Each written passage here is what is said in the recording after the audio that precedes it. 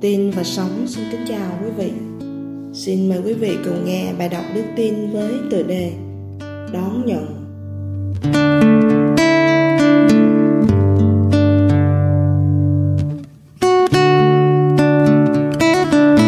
Truyện cổ Trung Hoa kể, ở miền núi Hô Phu có một người đàn bà bán rượu tên là Vong. Một hôm, xuất hiện một vị thiền sư đạo đức đến trọ ở gần quán dù không có tiền, ngài cũng được bà chủ quán tiếp đãi nồng hậu.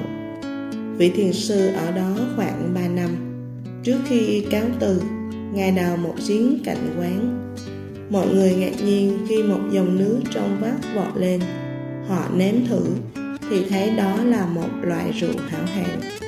Từ đó, bà chủ quán trở thành nổi tiếng và giàu có. Ít lâu sau, vị thiền sư lại ghé ngang quán ngài hỏi thăm bà chủ về quán rượu. Bà này than phiền, rượu tốt, nhưng tôi không bao giờ có dư để dự trữ. Vị thiền sư mỉm cười, rồi lẳng lặng viết lên tường. Trời đất, thật bao la, nhưng lòng tham của con người còn mênh mông hơn thế nữa. Dù không tốn kém, bà chủ vẫn có rượu để bán thế mà vẫn không hài lòng. Viết xong thiền sư lẳng lặng ra đi, và dòng rượu cũng khô cạn. Người đàn bà thay vì biết ơn và ca ngợi lòng đại lượng của trời, bà lại than phiền vì không có nhiều rượu để dự trữ. Đôi khi, chúng ta cũng giống như người đàn bà đó, có voi đòi tiền. Kinh nghiệm thông thường cho thấy, ít người được thỏa mãn với chính mình, họ thường xa vào tình trạng đứng núi này trong núi nọ và cho rằng mình kém may mắn hơn người khác. Chúng ta thường mang tật so sánh và hay lặp lại câu, giá tôi được như người này, người nọ.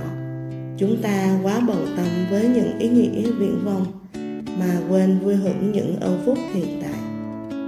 Mỗi người đều được thượng đế ban tặng những món quà riêng biệt, nhưng chúng ta không nhận ra chúng ta chỉ muốn có được những thứ mà thượng đế biết rằng nó không thích hợp với chúng ta.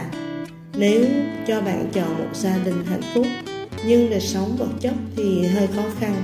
Sống qua ngày, không có điều kiện bon chen với bạn bè và chọn một cuộc sống giàu sang, hãnh diện và hưởng thụ. Nhưng thiếu mất tình thương cha mẹ, gia đình tan nát, chỉ có thể dùng tiền để khóa lấp khoảng trống trong lòng vậy bạn sẽ chọn con đường nào?